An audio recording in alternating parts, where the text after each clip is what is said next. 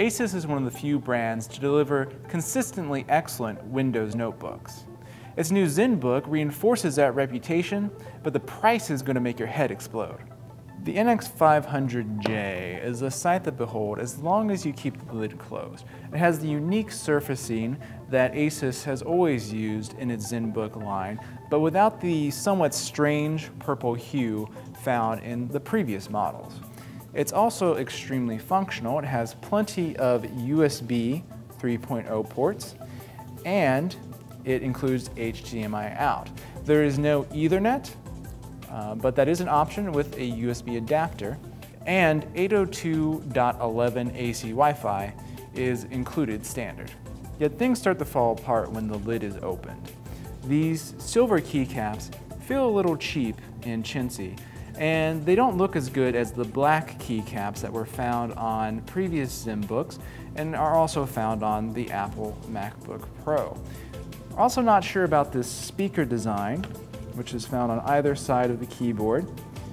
It looks all right, but it may not age well, and we're worried about crumbs and other debris getting lodged into that speaker. That said, sound quality is loud and clear because the speakers are directed up at your ears, whereas some competitors have speakers on the bottom of the system, and that can muffle sound quality. The screen is what really sets this ZenBook apart from both previous models and other systems. It includes not only 4K resolution, but also quantum dots, a technology that enhances the color gamut of conventional LCD displays. Its beauty may not translate well to our video, but our tests confirm it's by far the widest gamut and most accurate color of any laptop we've ever reviewed. Now, there are a few problems with the display as well. The first is glare. The screen is bright, but even in an office environment, it's not enough to overcome the glossy panel. It's more reflective than even a MacBook Pro, which we compared to the NX500J side by side. We also noticed the gamut is so wide that it overblows some colors, which can make video and games sometimes have a sort of unreal neon look. It's eye-catching, but not exactly ideal.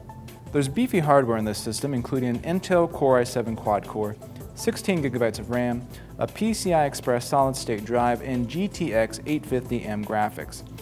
The hard drive is the real star as it hits sequential read speeds of over 1,000 megabytes per second. Files and applications load in seconds. The GTX 850M is nice to have as well, but it struggles to play games at full 4K. We can't call the NX500J a good value though, because it's $26.99. Acer's Aspire V15 Nitro Black Edition is quicker and it's $800 less. There is an area where Asus has a definite performance edge though, and that's battery life. The system lasted over 4 hours in our web browsing test, and that's actually quite good for a powerful 4K laptop.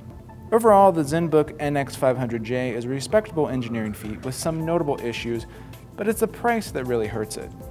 Acer's Aspire V15 with 4K display is only $17.99, and a Retina MacBook 15-inch starts at $19.99 or $24.99 with the NVIDIA graphics option.